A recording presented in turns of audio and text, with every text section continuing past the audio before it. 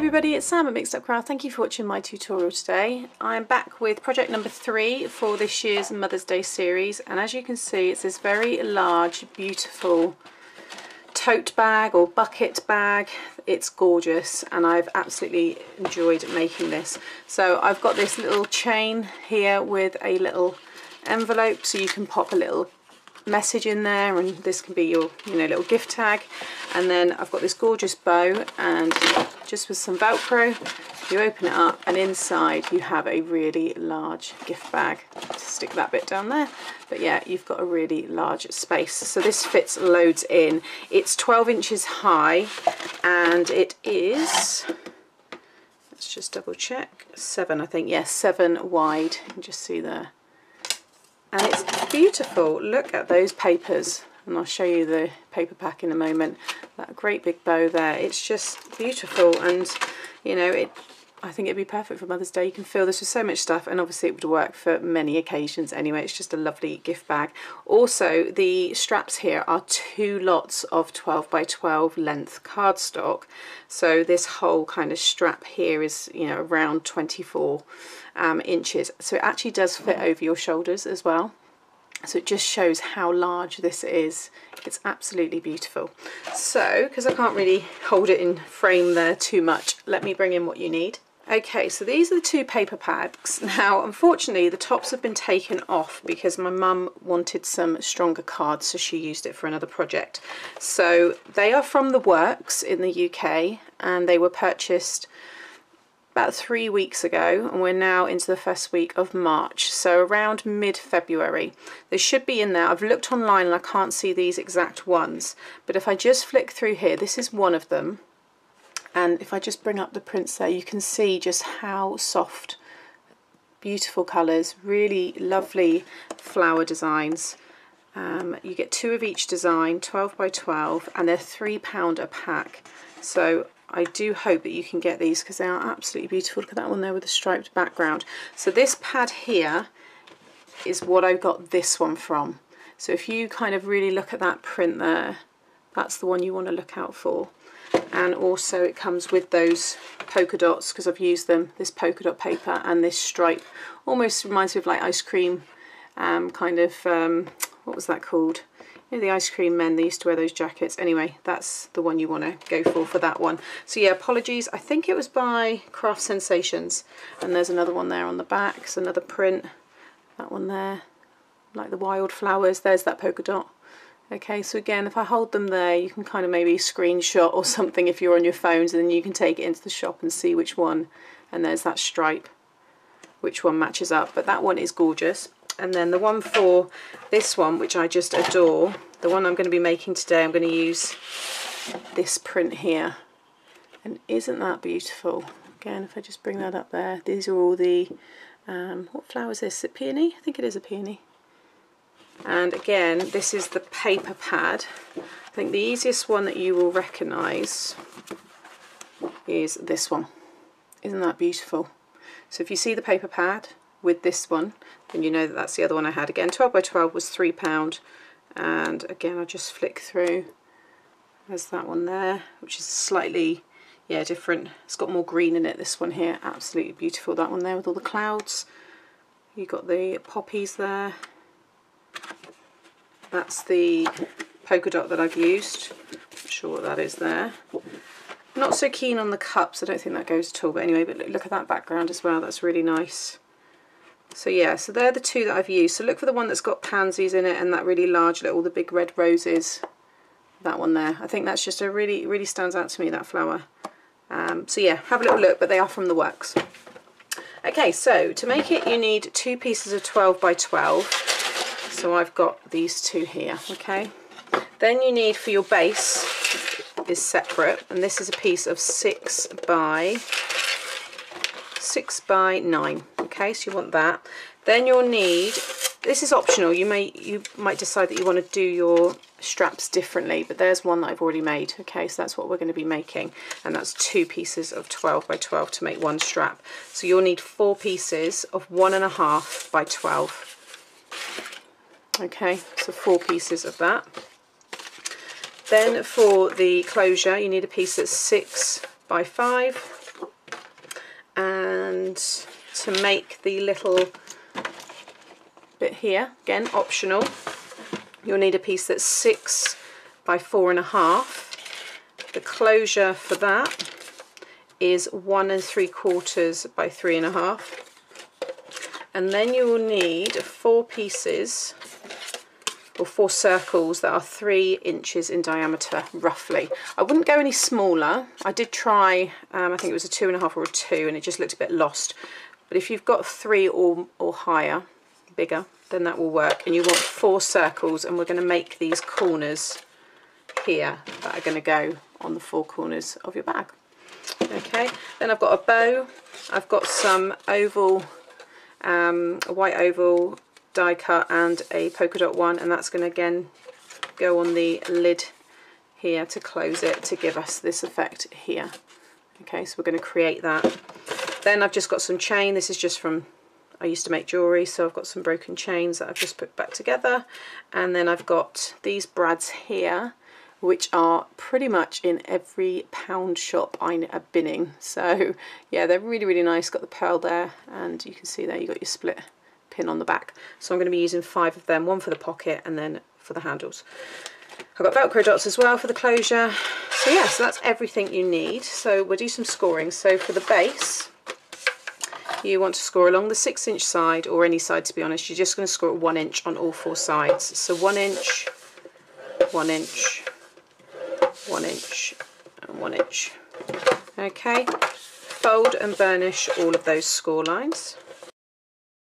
Okay. Then that's your closure. So that's the five by six piece. Along the five inch side you want to score at one inch.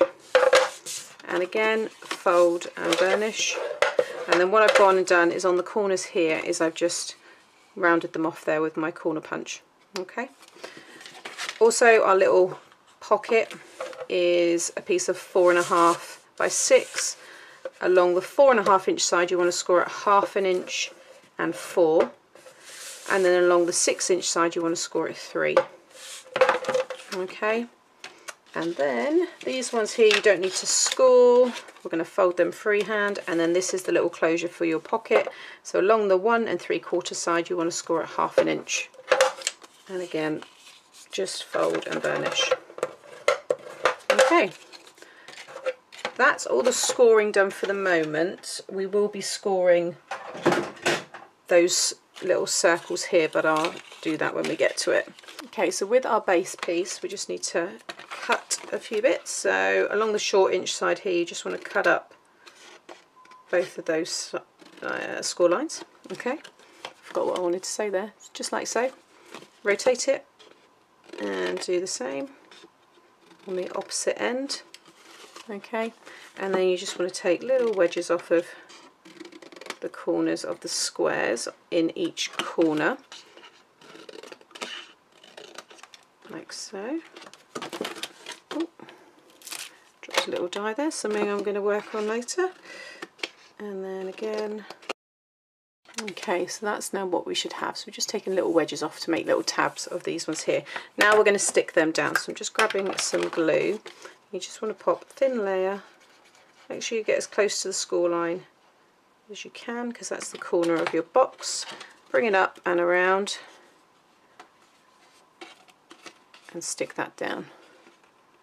Okay, so I'll do it again on this one here. Remove that bit. Again, this is the 300 GSM Paper Mill Direct cardstock. It's just so strong and I'm using it in pretty much all my crafting at the moment.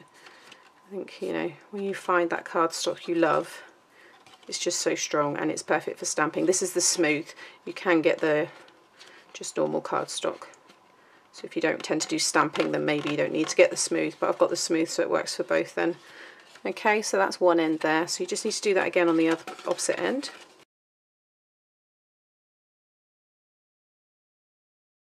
Okay, so now you've got this base, which is just like a tray. Next we want to pop some double-sided tape on this because we're going to be sticking the 12 by 12 paper to the outer sides of this.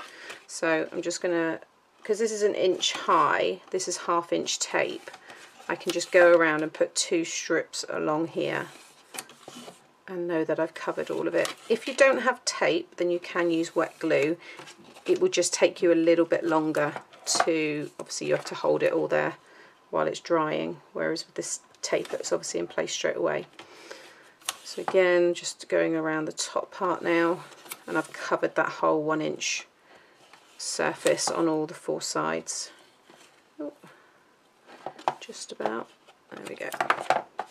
And if you flip it over just with your bone folder you can just go over just make sure that tape's really stuck down. It will slide around a little bit, um, you just want to make sure you've got all the air bubbles out because this is obviously really important that the sides stick because this is what's going to hold your bag together. Okay, like so. Next you want to bring in one of your 12 by 12 pieces, okay? And what you want to do is you want to add double-sided tape. So again, this is the half inch tape. And you're going to add it across an inch in. So I'm going to do two strips. So that one. If you don't have this tape or you've got tape that is slightly larger than this but not quite an inch, just measure in. I'll just show you in a second. Also, I'll tell you what this one is. It's the Ultra Tape. I always get it in Hobbycraft. I think it's a pound. I love it. It's brilliant stuff. Um, I always go over and make sure you really stick it down. Get all the air bubbles out. Yeah, if you don't have a tape that's wide enough, you need to make sure that you draw a pencil, little pencil mark here at one inch and here at one inch, and then put the tape from that one inch down to this one inch. So don't worry if it maybe doesn't meet here, you could just put wet tape, um, wet glue, sorry, on those pieces. When I go to put it all together, it will make sense and you'll be able to see what's going to work. So I'm just obviously ahead of myself in my mind of the steps that we're doing next because this is going to stick around the front here and along the sides and then when we put that back piece on it needs to stick down to this okay next what you want to do is take your say that we'll take the backing off in a moment you want to sit this down now this is seven inches wide. So along here you want to come in at two and a half inches on both sides. So there's two and a half there, one, two, two and a half there. So uh, two and a half and nine and a half. And you should have then a seven inch gap from this one to this one. So we've got one, two, three, four, five, six, seven. This will help you stick this down because you want to stick this side here between these pencil marks. It means then that you've got equal amounts that you're folding around to each side. So take your backing off of here or if you're using wet glue, add wet glue to just one side of this tray. Okay, I'm just going to help it along here because that wasn't coming off. So like I said, this project will work with wet glue, it just will take you a little bit longer because you'll have to wait for it to dry each time. Okay, so with your tray you want to make sure that you get it, the bottom of your tray lines up with the bottom of your cardstock. Okay, so put one side down and then the other. I was going to put wet glue over that but I forgot but I'll do it on the other sides because I do think it just helps give it a little bit more strength. Use your bone folder again to go in there and make sure got all the air bubbles out and then I'm just going to come around this side and I'm going to add some wet glue over the top. This gives you extra strength but it also um, gives you that little bit of wiggle room if you need to you know move it around. So now grab this piece and pull it around and stick it down. You don't need to score anything here, don't score anything because you don't want, there's no score lines going up the side of the bag. You see it just all curves around and that's part of the, the look so we don't want to add score lines to this. Again with my bone folder I'm just going to get right into the corner there of that tray. Don't worry if it's starting to kind of like I guess bow out a little bit or start to curve, it's fine. Once all the cardstock's joined it will you know go back to its kind of square shape or rectangle shape. Okay, so that's what you should have right now. And then you want to do the same on this side here. So again, I'm just going to add a little bit of double side um, wet glue and then bring this one up and around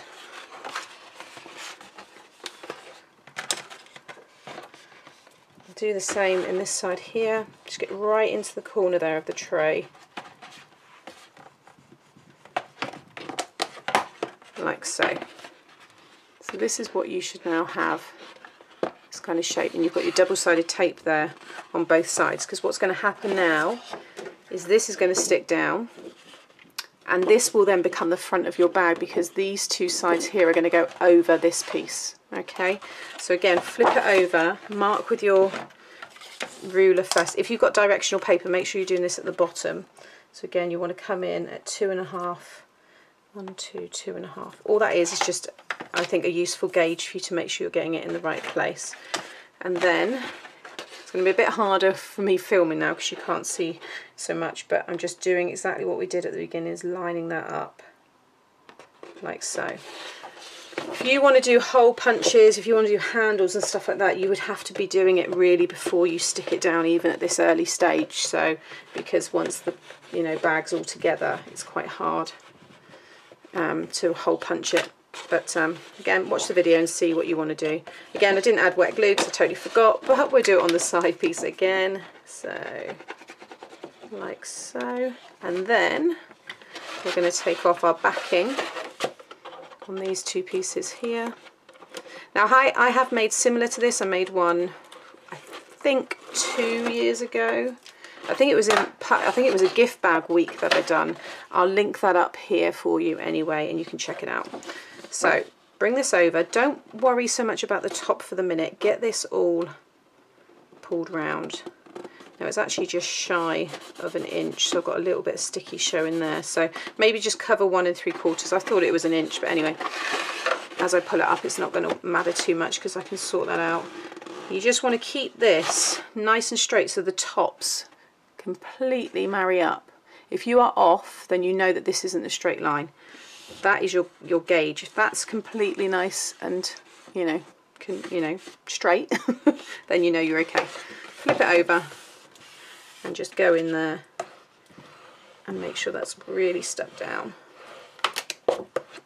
Keep losing my little die there. Like so.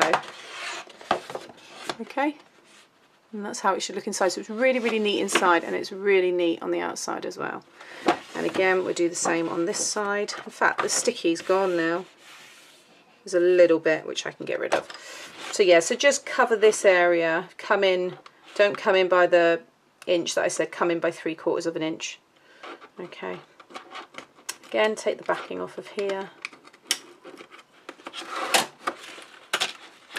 Pop a bit of glue. This is quite a decorative project as well. So I think if you make stuff just because you enjoy making, this is just going to look so pretty on your shelf in your craft space. So yeah, um, I think it's just really, really nice to make and to look at. So that's that one. And then again, come to the end here. Let it kind of fan out like that. See, I'm kind of pushing down because then wherever it naturally lines up, that's where you want to stick.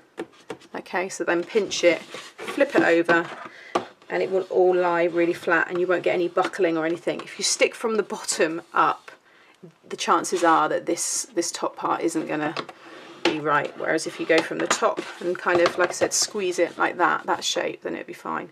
Now, when we go to squash it out this way, you'll see you've got that kind of bit there. Just fold it in half, pinch it like that. Again here, just pinch it. Just the top. And now you get that really cool very large gift bag and that print is just absolutely gorgeous. Beautiful, beautiful. And inside you've got a really nice, neat little gift bag. So I'm just going to go in there because I can see the glue's lifting just a little bit on the tray. You want to make sure that the tray is stuck to all the sides and you'd be able to see, see now it's all stuck down. So just check all that before you go on to the next stages. Okay, so that's that done. Then we can add our corners. So these now it's all these bits that I, I enjoy doing. They kind of bring it all together. But look, just by adding them on, how cool does that look? So you, like I said, you want four of those, which were three, three and a half. I'm going to have to pop that on the floor for a minute because I've got so much going on on my desk. Um, three and a half diameter. Oh no, three, sorry. Three inch diameter. And then I'm going to grab a little scoreboard and this one here, and you just want to score it halfway. So because it's a circle, pop it in. Whatever you've got, whatever your circle is, you want to score at half. So mine's three, so I'm scoring at one and a half, all right, right, right through the middle. So if you've got a four inch um, circle, then you'd score at two. Then rotate it, and you want this line to be as straight as possible. So that's about right. I'm using my guide down here, I've got one and a half there, and it lines perfectly with that. And score again at one and a half, or whatever your half point is. So you'll have your crosses, or crossed, you'll have your cross through the centre. Fold and burnish, and then you want to cut up one of them, just taking a little wedge out, so you can see there what I've just done. Okay, and then you're going to bring that down and that one over, creating that little corner and this works for many things. I've done this in little trinket boxes that I've done to make decorative corners. It looks great if you're using like a mirrored cardstock, especially if you've got like a silver or something, because it obviously looks a little bit like it's more of a metal. And then just bring it around and stick that down. And again, always make sure you spread your glue out or whatever the adhesive is that you're using. And you need to do that four times so you have these four corners.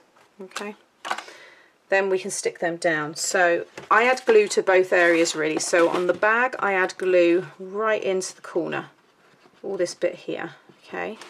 And then on this I add glue on the outer parts, okay?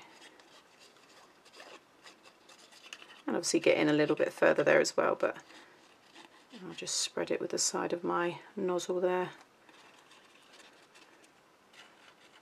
Like so. And with the join, so my join is here at the back, I'm going to pop that towards the back, okay? And then stick that down. Alright. And just bring it up. See what I'm doing there? Kind of joining with the curve of the bag. So you get a really nice join. So you don't want to pinch it and continue this kind of fold here you just want it to kind of more go into the actual curve of the bag. You see now where that's just all stuck down perfectly? Which is why it's good to put that glue on this piece and then also on the very corner there because you know it's all stuck down perfectly. But how lovely does that look now? It's a nice contrast. And obviously all those reds, all the colours go because they're from the same pack. So you just want to do that on all four corners.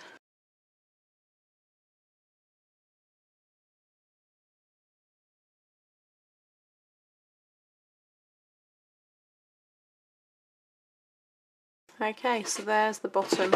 How lovely does that look? Again, when we fold that out, you can see how that's all going to look.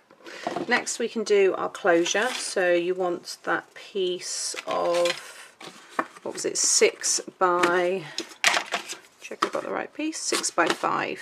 Yeah, and we've already scored and folded and I've already rounded off my corners there. And this is what again just really starts to transform it. Look at that by instantly adding it it just looks really nice.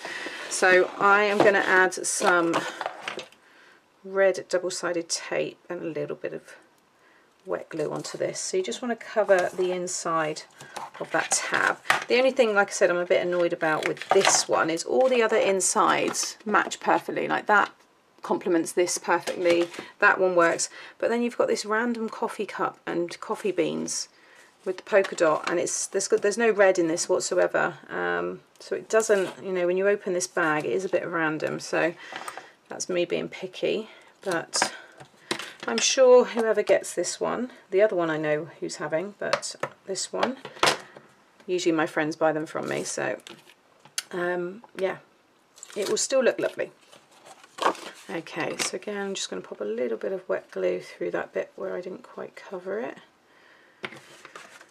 And then I pop it inside here and then make sure that you're getting it nice and centered. Actually, it doesn't really help you guys watching. You just want to line this up. See, it does help me doing it inside. You want to line it up. I'm going to do this end instead. Fold this down in half. Like that. And you want to make sure that this is in the middle.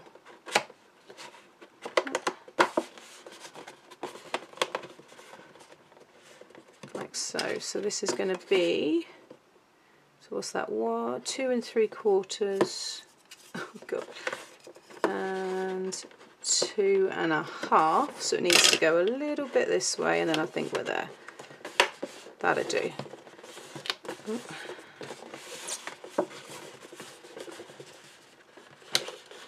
There we go. Bring that side over. I can just spread that out. There we go. Alright, so you saw how I done it, just copy that. But that again looks so nice. Then I've got this piece here, which is going to go on top, like that. Again, this is entirely up to you. You might just want to put some Velcro underneath that. You might want to do the big bow like I've done on other, the woven gift bag when I've done the bow coming through here. But I'm going to stick that one down over the top. So I'm just going to cover about half of this like so and just open it up. Again I'm trying to make sure I get you get this all in. So about there? Just make sure that is straight. So. The measurements of this, these are the Tonic Studios oval dies. The largest white one is four and three quarters by three and three quarters. And then the one on top is the next size down, which is four and a half by three and a half. Okay. So now when I bring that all down, look at that. Gorgeous. Okay, let me just clear up a little bit. Okay, so I've just got some Velcro dots here. And I'm just to grab a pair. These are by the brand Velcro. These are a little bit bigger to what I usually use. These ones are, because I know they're all done in mil. These are 18 mil. I usually use 16 mil, um, but I had these ones, so I'm using them. Plus this is a big gift bag, so pop your dot on that piece there. I think I'm going to cover that. I'm going to cover that with the polka dot here. I've got another bit I'm going to put, because that will bug me. anyway, lie this down, bring it over, and just make sure that that sits perfectly, which it does. And very carefully split them up. Oh, got the sticky bit there. It's always a pain when you make a bag. Just go back over that. There we go. Because you need to be able to obviously really stick it down, but you can't until you open it again. So now, there we go. Perfect. All right. Then we can make the handles. So you will have four pieces. And this is optional. You may not choose to do this at all. But you want to cover the, one of the ends an inch in. So this is gingham stripe. So I can see I just need to go up to that red stripe there because we need to join them together to make the long handles. Now you, you may want to use ribbon, that's you know totally fine and that will look just as lovely, but I wanted to make these really long handles and I like that it can go over your shoulder, it's just quite fun. And then I'm going to sit that over the top and just give that a few minutes to really stick together. Okay, while that's just drying, I'm going to go on and do this piece here. So we've already scored, this is the piece for the purse or the little pocket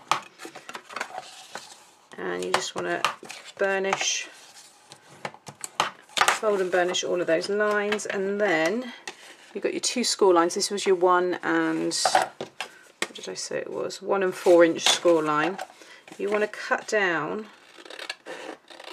the bottom ones like so just up to that center score line I know it's hard to see it on this gingham print but you just want to cut them away up to that middle score line. Okay, so you've got now that shape. Okay, and then just take little wedges off of the sides here, like so. A bit better. And again, pop some tape on your tabs. Take off the backing fold it over, fold in these sides, bring up that one, and that will give you your pocket. And this one is the little closure. So it's going to go over the top like so but I just want to round my edges off. And that's the X-cut corner punch and that's size L. So it's got an L there you get small medium or large. And again pop some red tape on your tab or sorry yeah on the tab part so the back bit. Okay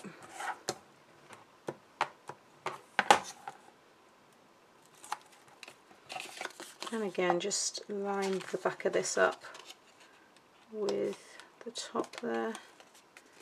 Fold that all over. And you've got a really nice little envelope now to pop a little message in. And then again you just want to get a velcro dot I've got these smaller ones again by the brand velcro. These are even tinier. These are 10 mil. And just grab a pair exactly the same way. Just stick that in there like so. And then I've got these brads and what I'm going to do is cut the metal brad part or the split pin even off of the back. And then I'm going to turn my hot glue gun on and I'm going to stick that down in the center so it matches the other brads that I'll be using later. But I'll do that shortly. Now we can go back to the straps. Okay so now what you want to do is fold it in half. Start from the middle fold it perfectly in half so you should have two three quarter inch sides. Use your bone folder just to keep that in place and then just follow it along. So just fold that in half because you don't want to score because we're not actually folding all the way to the end. So you're going to fold and leave. I'll tell you in a second. It's entirely up to you. There's no exact it's just roughly. You want to fold up to about two inches okay so leave two inches where you don't fold to the end. Okay so I've folded up to there and you can see there it's about two inches from the end because that's what's going to form this design here. And again on this side just go all the way down making sure perfectly in half because you will see both sides of the handle so you don't want to see some of the inside print or design that you might have if you're using a double-sided. So again, you do want to make sure whatever it is, yeah, you've got the same at both ends. And then just go along and really make sure that's burnished well. And also, where you've folded it and stuck it over, because you've got a lot of card on the join there, just make sure you kind of really fold it and break down all the fibres there like so okay? And open it back up again. You want to pop glue just on one side all the way down to where you stopped folding. Okay. And then fold that in half. And just kind of hold it in place for a second. And then again with your bone folder just go over and really make sure that all that glue spread out okay and again just kind of work it into the shape that you want it to be. It will become really strong. You can see now the handles. So now we want to make it more like that at the ends. So what you want to do is pinch this together here and push this down okay? And push that. So you can see how I've created that. So kind of you start to get this like little triangle piece. You want that to be completely flat with the bottom of this so you can lie your hand. You can see now how that's going to stick down. So again with this one pinch it and then push down. And you want them to be the same so if they're slightly out then just trim it but I think I can get away with it. Might take a little bit off of that one just tiny again because I'm using lines here it's quite easy. Yeah there we go. Like so. And then you should have two like this. Okay. Then we need to stick them down. So again choose you might have one that you prefer more for the front. I'm going to use the one I made originally. Add glue to the back and do one at a time. Use double-sided tape as well. But because this is big and it can hold heavier gifts I would use either a good strong wet glue, which this is, or use both, or if you've got a red tape or just a very very strong tape then that will be fine as well. But yeah just make sure it's something strong. Unless you're keeping it purely for decoration then it won't really matter. And you just want to make sure you pop it in the middle from where this is to the end here. So and the triangle part wants to line up with the top here. So look I can fold it over see like so. And then that is like a hinge. Just hold that there for a minute and you want to do this on all of your handles. With your back ones when you stick it down make sure they line up with the one in front okay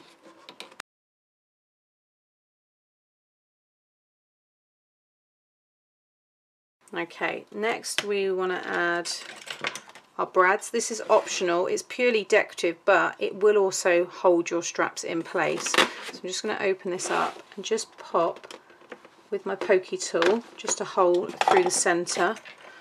And then with those same brads just pop them through split them open and it just gives it a nice little bit of decoration. So I'm going to do that on all of those.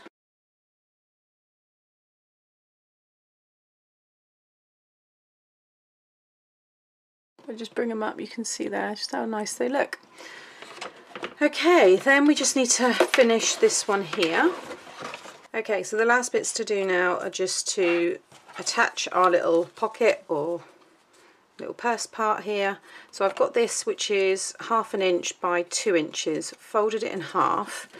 I'm just going to pop a little bit of glue in between like so just let that dry I've got my big bow that I'd already prepared earlier and I'm going to stick this one right in the middle like so. And again that just finishes the bag. It looks absolutely gorgeous.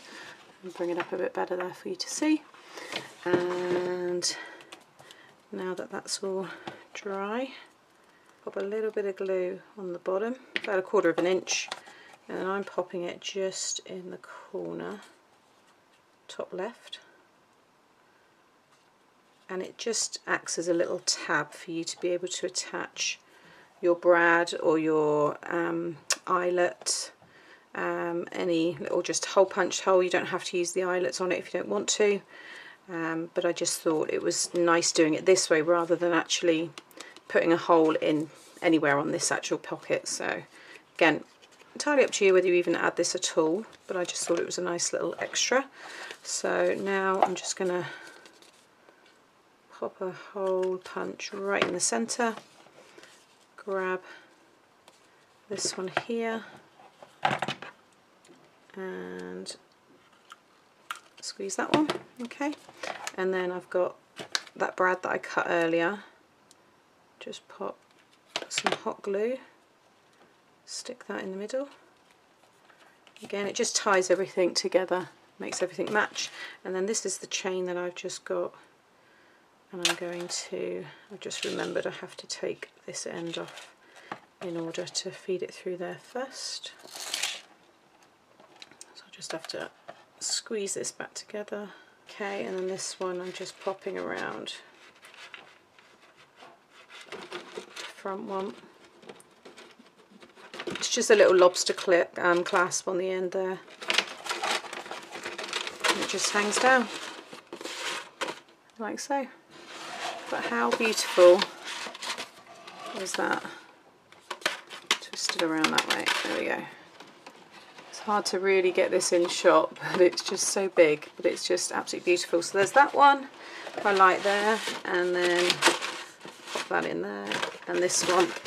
Oh, I will pop there. There we go. We can just get those bits in, but they just look beautiful and I think perfect for Mother's Day. So I hope you've enjoyed this tutorial, a little bit longer than usual, but there's quite a lot to it. Um, it's a lovely project to do though, so when you've got a nice, you know, afternoon free, definitely give it a go. And um, yeah, I hope you enjoy it. Thanks for watching and I'll be back again tomorrow. Bye!